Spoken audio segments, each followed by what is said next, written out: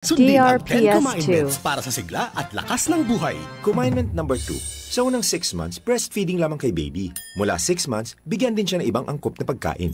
Walang katulad ang gatas ng ina. Lahat ng sustansyang kailangan ni baby for the first 6 months of life ay nasa DRPS2. breast milk. Simula 6 months, idagdag ang malapot na lugaw na may hinimay na isda, itlog at mga gulay na pinalambot. Ipagpatuloy pa rin ang pagpapasuso. Paalala ng National Nutrition Council ng DOH.